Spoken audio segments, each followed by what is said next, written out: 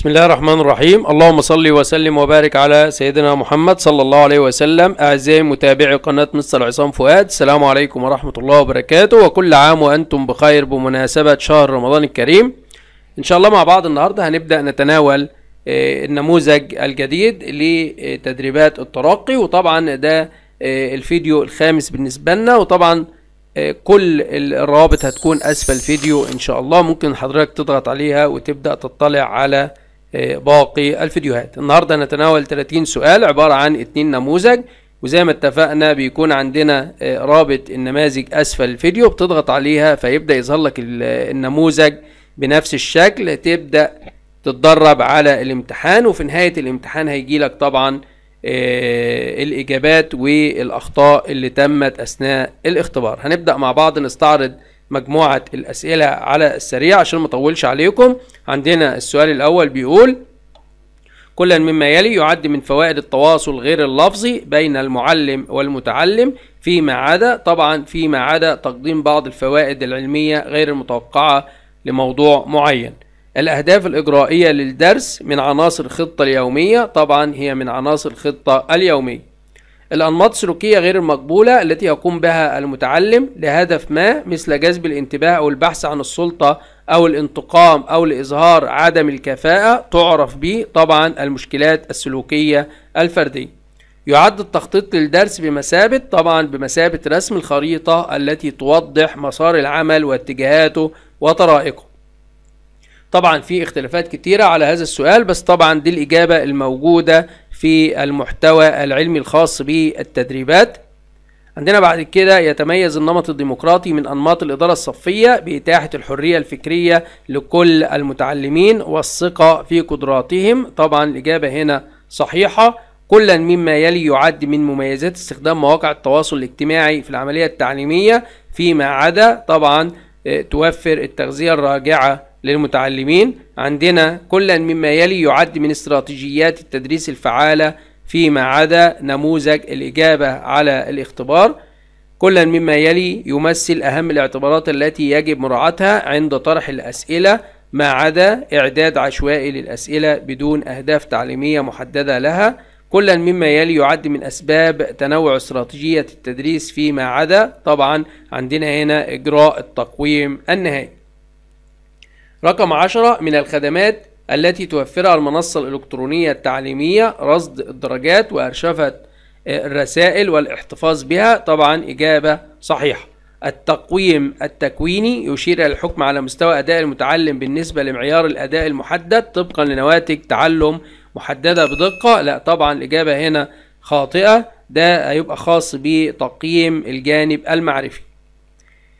أيا مما يلي يطلق على العملية التي يقدر بها أداء المتعلم بالنسبة للمعارف والمهارات والسمات المختلفة باستخدام أداة ملائمة أو مقياس مناسب ويعبر عن القياس بقيمة رقمية طالما قيمة رقمية طبعا هنا القياس. يقصد بالتقويم الرقمي العملية المستمرة والمنتظمة التي تهدف إلى تقييم أداء الطلاب عن بعد باستخدام الشبكات الإلكترونية. التقويم الوجداني يشير إلى الحكم على مستوى أداء المتعلم بالنسبة لمعيار الأداء المحدد طبقا لنواتج تعلم محددة بدقة. لا طبعا إجابة خاطئة. ده التقويم الخاص بالجانب المعرفي. من إيجابيات التقويم الرقمي الوقت المستغرق للأداء أقصر. طبعا دي من الإيجابيات يبقى إجابة صحيحة. هنضغط على التالي عشان نشوف ال 15 سؤال آه، الباقيين أو النموذج التالي من نماذج اختبارات الترقي لفئة معلم أول. النموذج الثاني في فيديو النهاردة السؤال الأول بيقول لي كل مما يلي يعد من أساسيات عملية ضبط الصف فيما عدا؟ طبعا بيقول لي هنا تعتمد عملية ضبط الصف على الأساليب العقابية. طبعا الإجابة هنا خاطئة. يعد التخطيط للدرس بمثابة تصميم أنشطة التعليم والتعلم والتقييم والوسائل التعليمية. لا طبعا إجابة خاطئة. إحنا اتفقنا يا جماعة إن هي خاصة بإعداد خريطة. تمام؟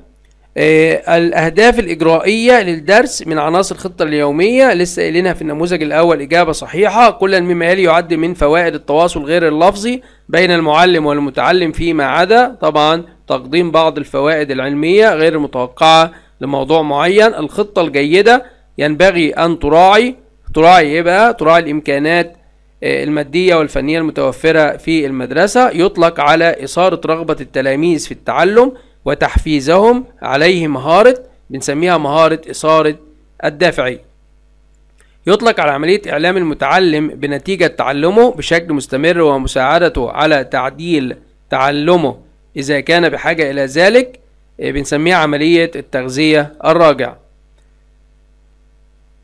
تجمع بين مميزات أنظمة إدارة المحتوى الإلكتروني ومن شبكات التواصل الاجتماعي. طبعا العبارة بتبقى جاية كده ناقصة يا جماعة ولكن هو يقصد آه، منصة آه، التعلم الإلكتروني. فإحنا بنقول منصة التعلم الإلكتروني بتجمع بين مميزات أنظمة إدارة المحتوى تمام وشبكات التواصل الاجتماعي. فهنعتبرها إجابة صحيحة.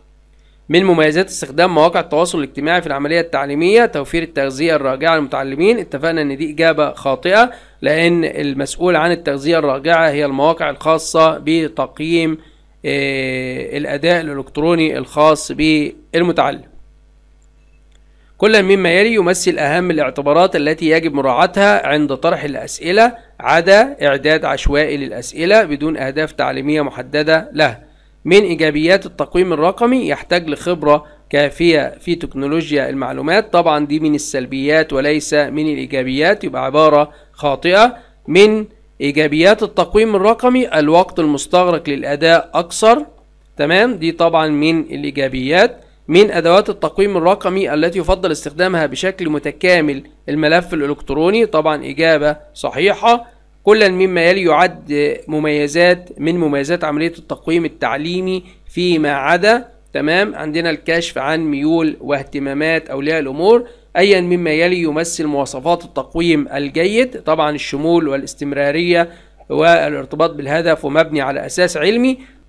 كده يبقى خلصنا 15 سؤال وده كان النموذج الثاني لو إحنا ضغطنا على إرسال هيبدأ يظهر عندي آه، النتيجة. هنقول له عرض النتيجة.